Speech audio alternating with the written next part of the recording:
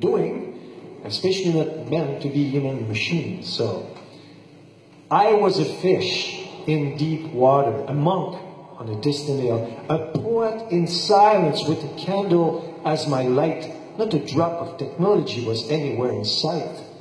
Out of nowhere, a story came to me. I suddenly turned around and my life was overwhelmed by technology.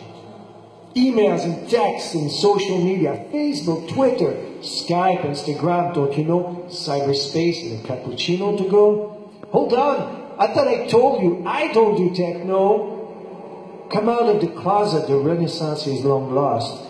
Come into cyberspace if you want your love to last.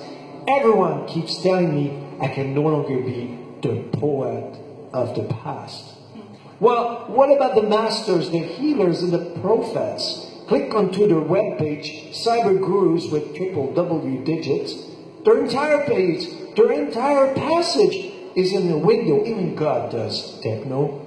I bow my head, I surrender my pen. This point has to accept we now live in a cyber reality. I look all around me, there are full computers and a wristwatch.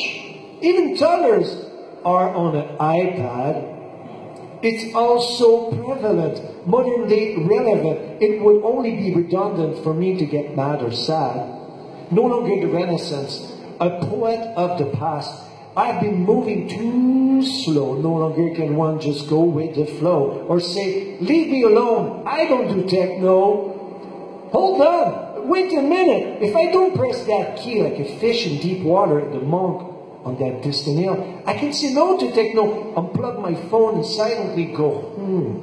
One last time before I unplug, light my candle and deep, dive deep to the ocean floor. I click on the cyber key just once more.